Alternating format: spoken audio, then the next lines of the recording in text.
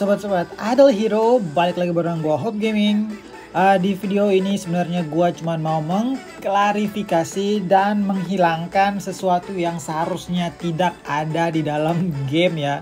Di segala jenis game sih, bukan cuma di Idol Hero, yaitu perang dingin antara free to play player dan pay to win player.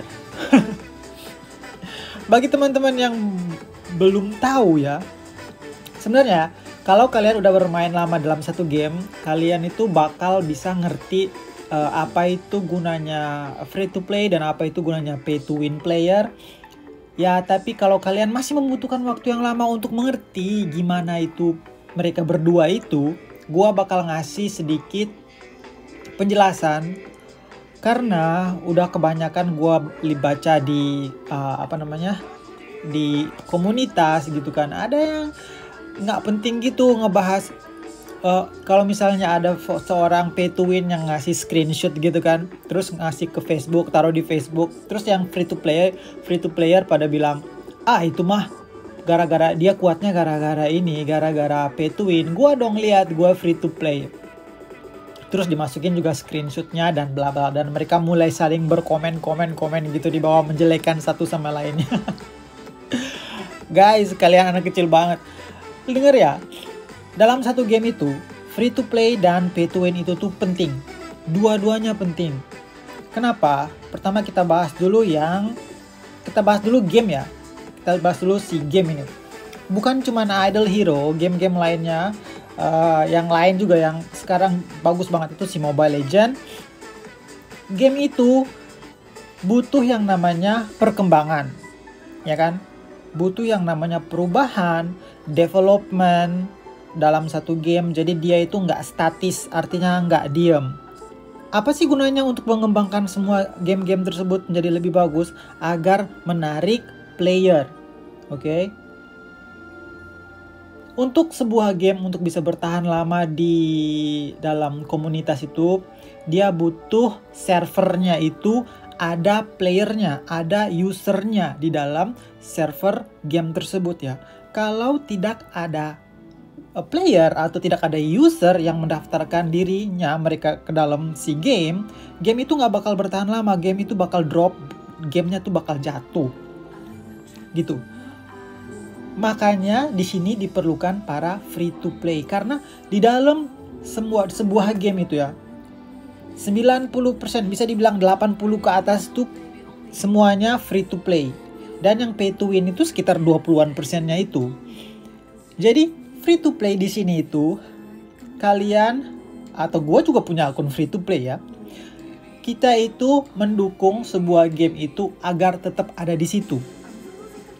Biar gamenya itu nggak hilang dari pasaran, biar kita tuh tetap uh, bisa menikmati game tersebut ya. Terus kalau misalnya game itu terus-terusan seperti itu bentuknya ya kan, gambarnya tetap seperti itu, tetap jelek, apa kalian mau tetap main game itu? Jawabannya tuh pasti 50-50. Kalau emang suka main, kalau enggak palingan di drop. Banyak banget game sekarang yang udah drop karena gambarnya kualitasnya kurang bagus, ya kan? Sekarang datang pertanyaan, gimana caranya para developer itu untuk meningkatkan kualitas game tersebut? Caranya satu-satunya adalah dari si win itu. Karena mereka itu membayar uh, si developer membayar game tersebut karena yang pertama mungkin mereka ngerasa mereka suka sama gamenya. Kayak gua, gua suka sama gamenya. Dan gua appreciate, gua menghargai si developer itu telah membuat game mengembangkan game jadi bagus. Jadi uh, gua ya kayak pay main membayar dalam game itu semua duit-duitnya yang kita bayar itu gunanya untuk menggaji orang yang mengembangkan game tersebut. Jadi istilahnya uh, gimana ya? Game itu berkembang oh dengan duitnya kita dan membuat sesuatu yang baru, menambah kualitas gambar, menambah kualitas game untuk memberikan game tersebut kepada kita apalagi yang free to play. Jadi uh, sedikit banyak kalian apa udah bisa menangkap menangkap penjelasan gua bahwa kalau kalian benar-benar mengerti antara free to play dan uh, pay to win, kalian tuh sebenarnya bersaudara untuk uh, bisa tetap menikmati game tersebut. Yang free to play itu mereka gunanya untuk tetap berada di sana, menguatkan fondasi servernya itu uh, user dan server di dalam game tersebut biar gamenya itu nggak mati.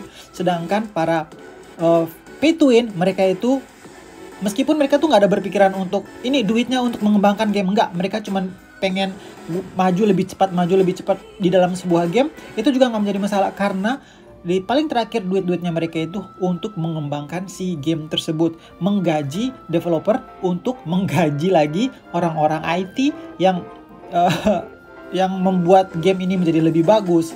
Jadi bukan sebenarnya kita harus membandingkan gitu. Ya sih manusia sih emang kayak gitu suka membandingkan uh, free to play dan pay to win. Emang manusia tuh dasarnya kayak gitu. Tapi ya nggak perlu menurut gue itu nggak perlu sampai mengolok-olok. Kalau cuma membandingkan eh gue free to play. Ah uh, gue screenshot kirim gitu kan. Ini perkembangan akun gue keren gak sih gitu kan? Oke okay, pasti itu banyak banyak komen yang oh oke okay, keren keren keren. Tapi kalau udah mulai bilang ah lu free to play lu mainnya karena duit lebih lebih cepat yang ini. Terus yang free to play datang eh tanpa tanpa gue kalian nggak mungkin bisa main game ini bla bla bla bla bla. Kalian berdua tuh punya sisi benarnya. Tanpa free to play gamenya itu nggak bakal ber, eh, tanpa free to play gamenya itu nggak bakal bertahan lama dan tanpa pay to win gamenya itu nggak bakal berkembang.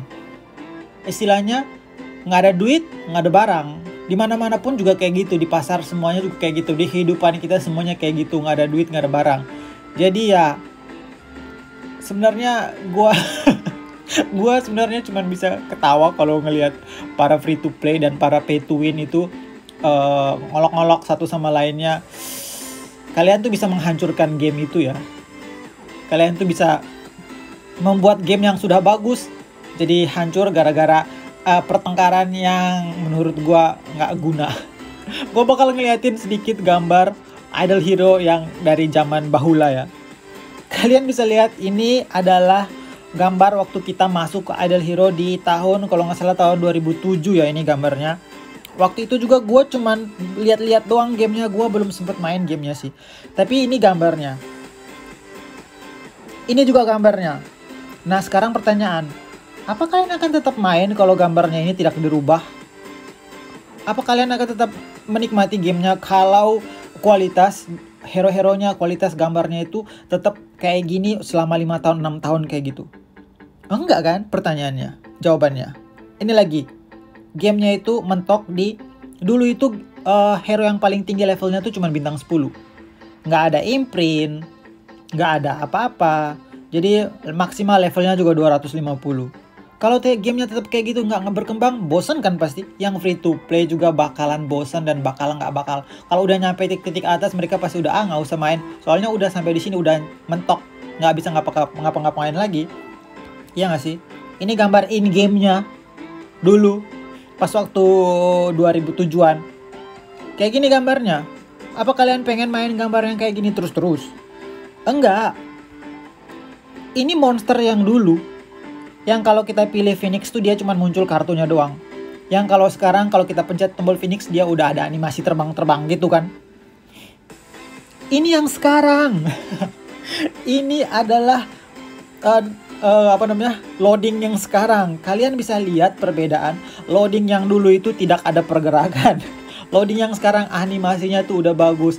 Kenapa? Karena gamenya itu berkembang. Gamenya itu menggunakan duit-duit kalian untuk membangun atau mengembangkan kualitas game itu.